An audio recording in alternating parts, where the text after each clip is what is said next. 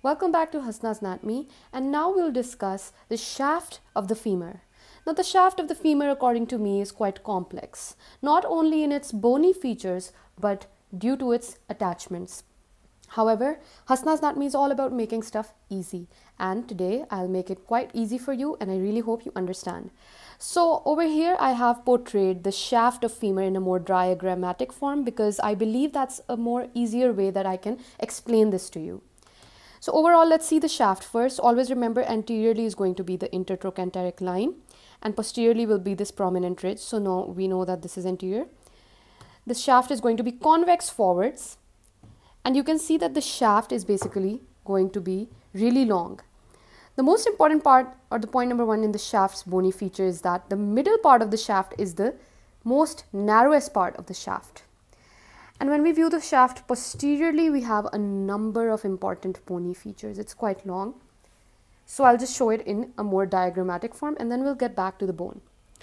So firstly, what's important for all of you to know is that the shaft of the femur is divided into an upper one third, a middle one third, which is the narrowest, and the lower one third. Let's first talk about the middle one third of the shaft. This is anterior this is an anterior view, this is a posterior view, all right. So let me write it over here as well, anteriorly and this is posteriorly. So the shaft is basically, let's talk about, we have to begin by talking about the middle one third of the shaft, all right. So this part, which is the most narrow. Now the middle one third of this shaft consists of three borders and three surfaces, while the upper and lower thirds of the shaft consist of four borders and four surfaces. The middle one third of the shaft consists of which borders Obviously, there's going to be a medial border and a lateral border and posteriorly it has a posterior border which is known as the linea aspera as well. So, middle third of the shaft consists of a medial border, a lateral border and the posterior border also known as the linea aspera which is very important. What is the significance of the linea aspera is that it has medial and lateral lips. So, obviously, if this is the medial side and this is the lateral side, this is the medial lip of the linea aspera and this is the lateral lip of the linea aspera. So, it has medial and lateral lips. The linea aspera is important and significant because of the attachment it has to give. So, this was the middle third of the shaft. Now, let's view it on the bone as well. So, this is the middle third of the shaft anteriorly.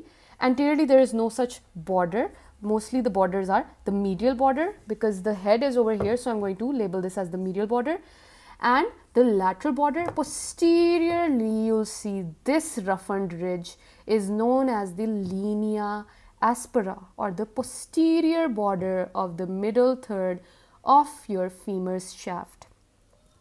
Due to the borders, the femur is divided into a medial surface, a lateral surface and obviously an anterior surface. So the three borders and three surface of the middle one third of the shaft of the femur are explained. Now let's talk about the upper and lower third of the shaft. As the linea aspera goes above, it splits or it diverges above to form two more borders. Hence, in the upper one third, there are four borders rather than just three. And below when it goes towards the lower one third does a similar thing it splits up to form two more borders in the lower third of the shaft. Hence the middle one third of your entire shaft is only carrying three borders, three surfaces but upper and lower are carrying four borders and four surfaces because the linea aspera splits up. Let's talk about the upper third.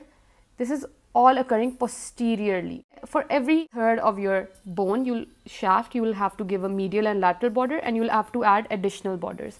So, in the case of upper one third, there is no posterior border, rather it has become, suppose this is the medial side and this is the lateral side. Medially, we all know is the head of the femur. Let's see it over here. All right.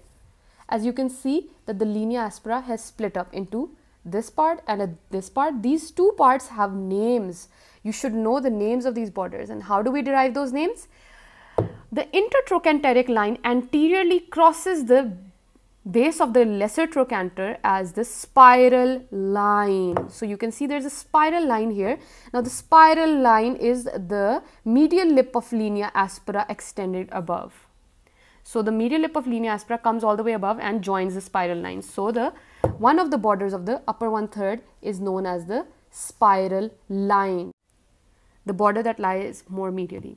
And the border that lies more laterally now this is very important. This is the in the posterior part of your upper one third of the shaft is a rough tuberosity known as the gluteal tuberosity which has to give attachment to the gluteus maximus. This is the medial lip of the gluteal tuberosity obviously because this is the head and this is the lateral lip of the gluteal tuberosity the lateral lip of the gluteal tuberosity is going to be joining the lateral lip of the linea aspera. And this lateral lip of the gluteal tuberosity is your fourth border. So in the upper one third we have what borders? Medial lateral by default and the spiral line and the lateral lip of the gluteal tuberosity which is why we have how many surfaces? The anterior surface. And posteriorly we have the medial surface, the lateral surface and the posterior surface. Now let's talk about the lower third. Similarly, in the lower third, also the linea aspera's medial and lateral split up. Now this is easier because they basically split up to form the medial and lateral supracondylar lines. All right, supracondylar lines. Mm, what does that mean? Because this is known as the condyle, the lower end.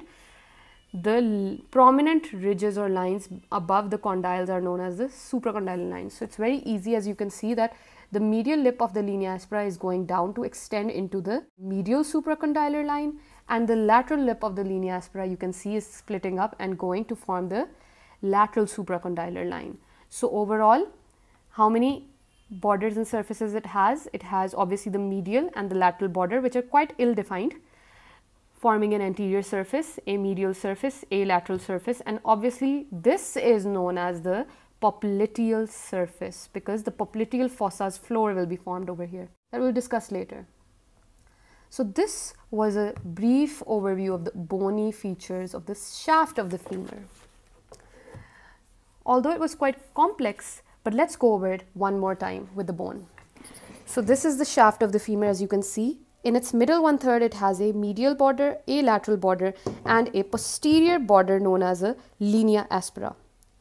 The upper one third of the femur consists of a medial border, a lateral border and posteriorly where the linea aspera splits up, it has a two more borders, one known as the spiral line, one known as the lateral lip of the gluteal tuberosity, forming about four surfaces, the anterior, me lateral, medial and the posterior surface. In the lower part of the shaft of the femur, you can see that there is a, a medial supracondylar line and a lateral supracondylar line which form the anterior medial lateral surface along with that a posterior surface. That's all you need to know for the shaft of the femur. In the next video, we'll discuss the attachments of the shaft.